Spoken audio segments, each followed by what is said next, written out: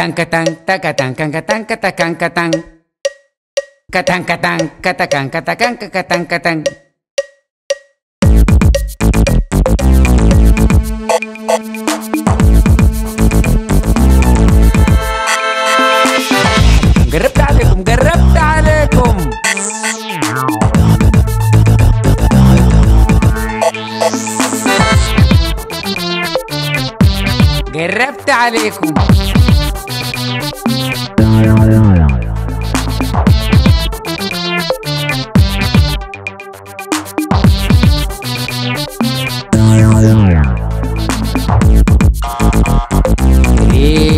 يا فردة قريب قريب.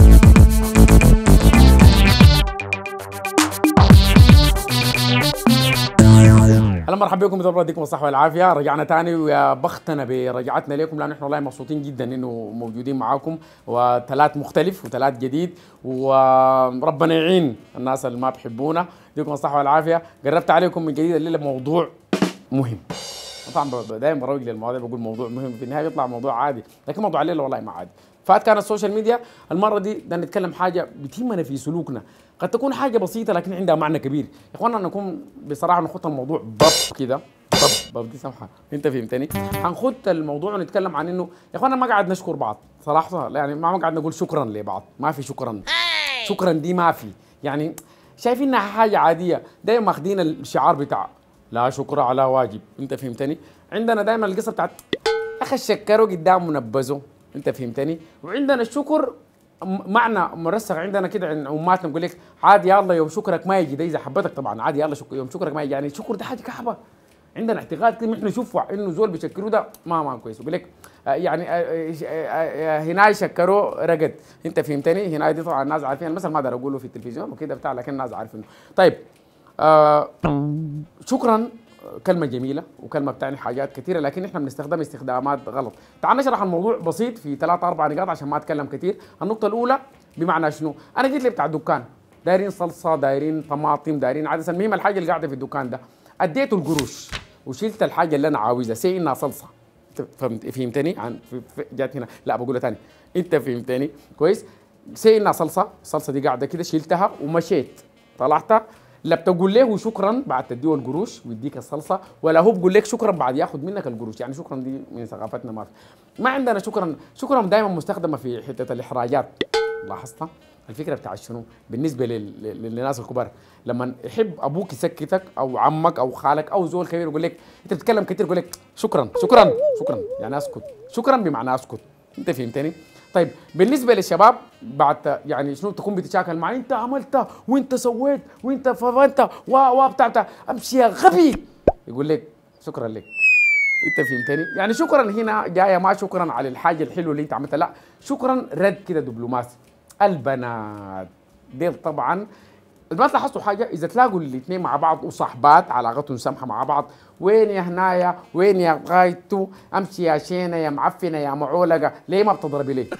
طبعا دي العلاقة اللي بيناتهم الحلوة. العلاقة مما تبقى كعبة. عيني هنا يا حبيبتي.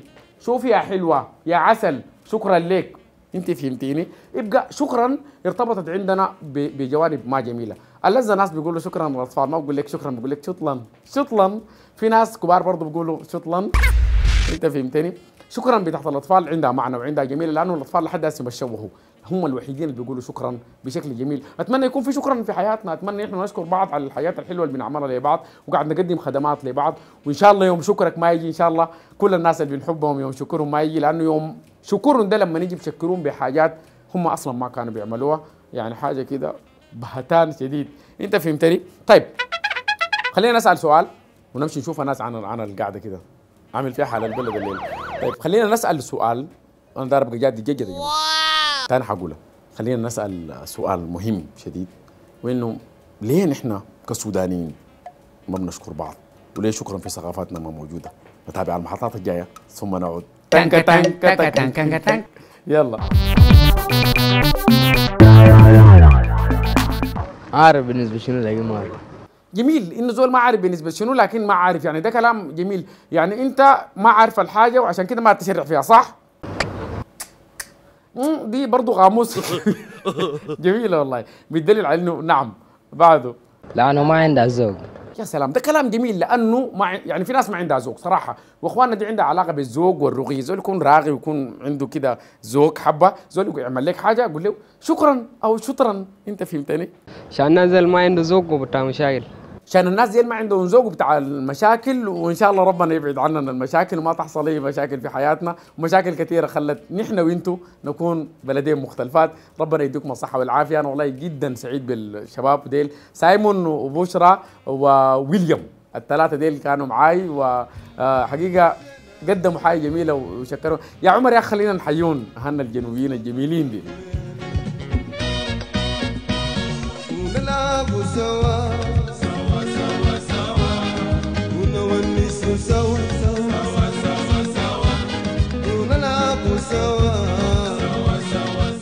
لأنه الناس ما عندها ذوق. ده كلام مختصر. لأنه الناس ما عندها ذوق. يا اخوانا كل ما تعاملنا بذوق كل ما كانت القصة عندها علاقة بالذوق. شكرا. والله يا أخي الناس بطريقتهم قاعد وأنا بقول شكرا. سلام. دي اسمها المسؤولية الفردية. كل زول بطريقته. يعني في ناس بيقولوا شكرا وفي ناس ما بيقولوا شو وفي ناس بيقولوا عفوا. لكن أنت راغي. لأنك أنت بتقول شكرا. كلامك صح. الناس يعني من لا يشكر الله لا يشكر الناس.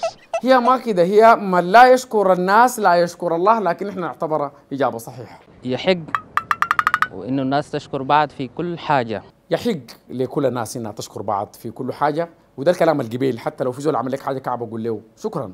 أنت فهمتني؟ والله احتمال عشان ما عندنا وقت. خلاص زي الموقتنا مليان فول كده ما فاضيين. هي شكرا يعني حشين شكرا. ثانية. كده. ثانية لأنه نحن يعني لو مثلا زول قدم له قدم له خدمة أنا بعتبر إنه كأنه دي واجب يعني واجب تجاهي يعني. الزول اللي بيقدم الخدمة المفروض ما تكون واجب. المسألة تكون عندها شكرا أو شكرا. والله عدم وعي وقلة ثقافة يعني. ده كلام محترم شديد.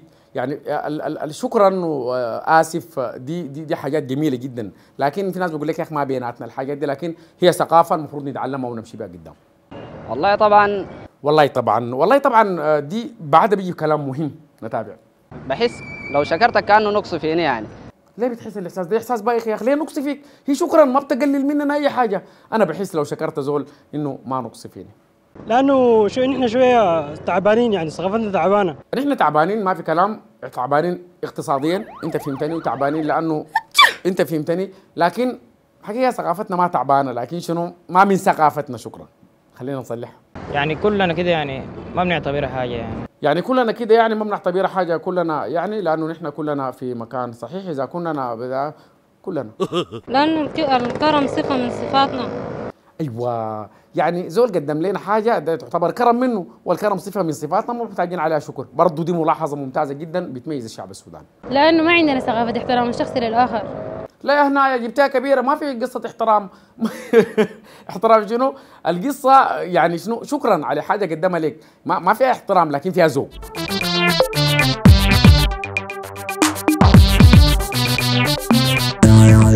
ده موضوع مهم. آه، بصراحة موضوع كبير بيننا ما بنقول شكرا وشكرا مهمة وشكرا جميلة خالص. آه، لكن دايرين آراء أزيد من الآراء دي لكن الناس كلها اختصرت الموضوع في إنه محتاجين لذوق شوية يا ريت نبقى مثقفين ورايقين. طيب في قاموس سوداني كلماتنا برانا حقتنا برانا وحاجاتنا برانا الليلة حنتكلم عن كلمة مهمة جدا اسمها بردلوب كلمة بردلوب معناها السقوط من أعلى إلى أسفل كده. آه ده طبعا كلام مثقفين كده. طيب لكن هي كلمة بتعني زول وقع في كده وبعد ذاك الناس عملتها زي موسيقى تصويرية وكلام من النوع ده كده موسيقى تصويرية. آه الكلمة دي اتقالت وين؟ اتقالت في العام 1964 1964 اتقالت في ام درمان احياء ام درمان الجميله العاصمة الأنثى. ناس ام درمان الناس الحلوين الرايقين. ناس ام درمان اللي هم المنطقة بتاعت العباسية الموردة العرضة وود نوباوي وود درو أبوروف وبقية المناطق اللي ما ذكرناهم ما يزعلوا مننا. كويس؟ ام درمان القديمة كل الناس بتعرفها ما دايرين نعرفها الليلة. لكن في العام 1964 اتقالت الكلمة دي وكانت دي ثقافة ناس. أم درمان ونقلوا ثقافة للعالم كله اللي هو العالم السوداني ما العالم البرة. لأنه وردلوب وردلوب كلمة حقتنا نحن. عشان ما أتكلم كثير الناس بتعرف شنو عن وردلوب.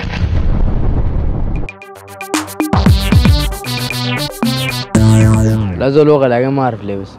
أيوه زول وقع لكن ما عارف يا زول وقع لكن الوقع شنو؟ ما عارفه يا أخي الجنوبيين دي الحلوين حاله الدروق يعني زول وقع وال زول وقع ولا بعد؟ ده قام يتنفض. بس المسألة دي كده بتاعنا كده. وقع تيد ولا وقع وين؟ وقع تحت. لا ما وقع وين؟ وقع تحت. يعني ما بيقع فوق هو بيقع تحت. كثر خيرك يا سايمون. زول وقع اردلب زول وقع اردلب دي كلمتي ذات اللي أنا قلتها. زول وقع اردلب يعني ده تفسير الماء بالاردلب أنت فهمتني؟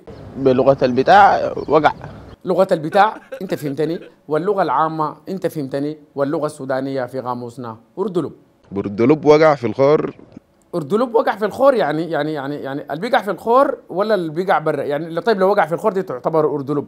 لو ما وقع في الخور تعتبر سقوط ولا حاجة تانية؟ يا هل وقع ذاته.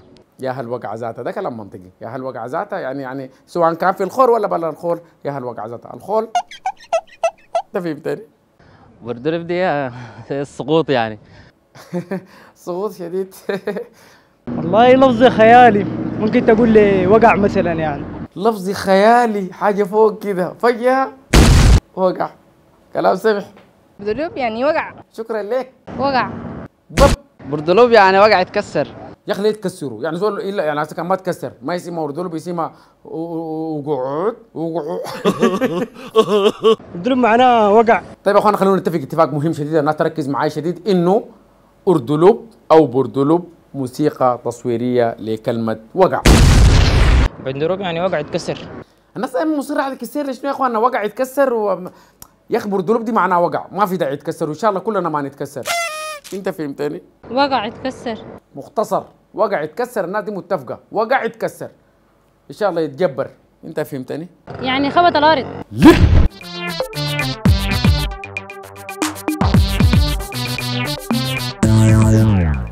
طيب يا اخوانا الفقرة الجاية كده فيها خيال. وخيال سمح.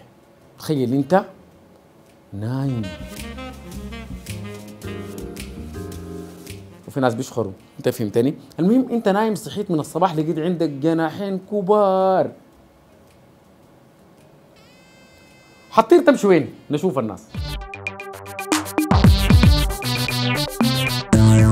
طير سماء إيه مهل أطير سماء أي محل؟ والله ده كلام كويس. زول لما يطير في السماء بيكون في محلات لكن إلا أي محل ده اللي في السحاب. أنا أطير نمشي في فرنسا. أمشي فرنسا يا سلام. وما أدراك ما فرنسا. فرنسا بلد ال... انت فهمتني؟ بمشي مصر. أنا ذاته ما بقدر امشي مصر. اطير ألف في السماء. حطير ألف في السماء. والله أحسن لك تطير أحسن لك أحسن لك تطير في السماء وما تنزل لأنه الأرض بقت. انت فهمتني؟ ما حتنزل كله كله؟ ما بنزل. أوعك تنزل. لو نزلت حتقع بردلب بجناحين دي أنا ما داير أطير. ليه ما تطير بجناحين يعني شنو يعني؟ المفروض الزول يطير بجناحين لو ما في جناحين حتطير بشنو يعني؟ بالطيارة؟ طيارة معلش لكن بجناحين دي الوقعة بردلوب حارة صح والله لأنه ممكن ممكن تتعب. لكن انت عارف برضو الطيارة ممكن تكون الوقعة قاتلة. انت فهمتني؟ وما طار طير وارتقع شنو؟ بردلوب وقع يا أخي أنا ما أعرفك ذاتي أنت قاعد تقول في المثل ده جبت ما طير طير ارتقع ارتقع, ارتقع. انت فهمتني؟ والله لو قام الجناحين باخدهم في المتحف. أحلى إجابة لإجابتك. الله يحلق في الفضاء ممكن تبقى رجل اطفاء ملاحظ. والله بس حارتاح من المواصلات. دي أكبر فائده يا جماعة للجناحين إنها بتريحك هنا يعني هسه أنت من هنا ممكن يعني أنت مثلا من الرياض تمشي الكلاكلة ومن الكلاكلة فجاه فجاه تلقى نفسك فين بدأ؟ أنت فهمتني؟ أمشي باريس. باريس شارع الشانزليزيه محل العطور. وهنا العطور كلها. أنت فهمتني؟ بيتنا. أحسن حاجة والزول ما بيرتاح إلا في بيته. نقسم بالله ما تقول أي حتة ثانية. انت فهمتني؟ أمشي البلد. يا سلام دي الحاجة الجميلة اللي عندها علاقة. الناس بترجع لجذورها ولاصلها يعني لو قاموا لك جناحين حتمشي البلد بلدكم وين؟ لو قاموا لي جناحين حاطير أمشي النيل الابيض يا سلام. تحيه ناس النيل الابيض تعظيم سلام البلد الجميل. حامشي العمرة عايز أعمر. أقسم بالله أنا زي دار عمر إن شاء الله أنا وأنت نمشي في طيارة واحدة ونجي سالمين وغالمين. قول آمين. أمشي بورت سودان بورتو السودان جميلة شديد. أنت فهمتني؟ مش غطر. انت فهمتني؟ البلد. نفس الإجابة. يا إخوان البنات دي المحنينات. الواحد ترجع عليه بلدهم. البلد وين؟ البلد. العبيدية محل الذهب. الله مروقين الروقة. ما شاء الله. أنا بهني الشعب السوداني بحلول رمضان وربنا يقدرنا على الصيام والغياب. بسم الله الرحمن الرحيم. في شنو؟ من رمضان جمتين. يا هناي ده دمتين الكلام ده. هذول ده جبتوا من وين يا عمر أنتوا؟ كويس. كل سنه وانت طيب يا هناي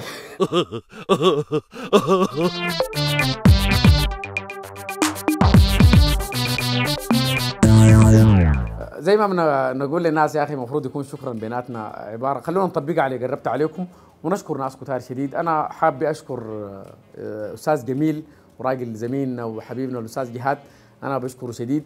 جهاد عمل عملية حلوة بمبادرة كويسة منه إنه كان في النيل الأبيض وضرب لي بلاء وقال لي جلواك يا أخي أنا أعمل لك استطلاعات وريني إعداد الحلقة ورسلت له حاجة بالموبايل إعداد الحلقة وقام جاب لي إفادات. شكرا جميلا يا جهاد على الحاجات الجميلة اللي أنت قدمتها. غير جهاد كمان آه في ناس كتار قاعد يصوروا معانا ونحن قاعدين نقوم نعلق عليهم تعليقات ساخرة وقاعدين ندورهم بلغتنا السودانية البسيطة انت فهمتني. لكن هم متحملين وفرحانين إنهم هم معانا ونحن نشكرهم ونقول لهم شكرا جزيلا. وخلونا نشكرهم عن طريقتنا أو على طريقتنا الخاصة. عمر عامل حاجة جميلة. خلونا نتابع جهاد والناس اللي يمكن آه، قدموا حاجات جميلة. نتابع.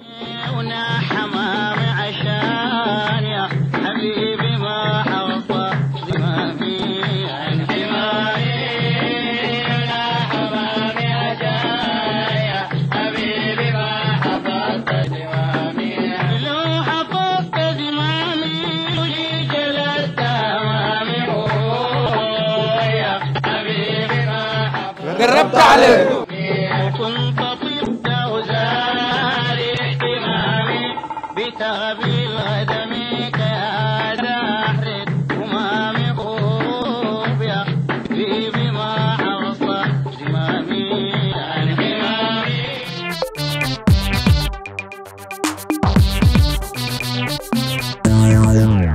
كلمة شكرا جميلة وكلمة شكرا عندها معنى كبير وكلمة شكرا بتقع على القلب بشكل دافي وكلمة شكرا حلوة. وخلونا نشكر بعض ما شكرا عشان حاجة تكون فيها زعل بيناتنا ونقول للزول شكرا. أنت فهمتني؟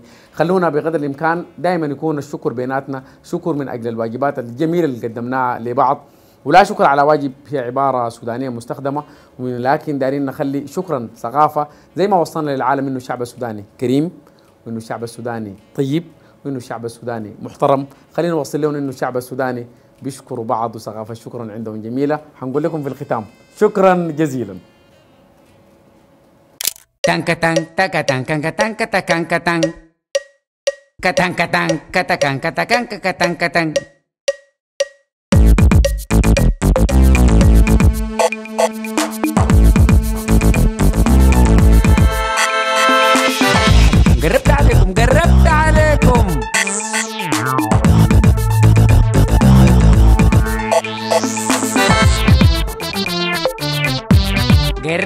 عليكم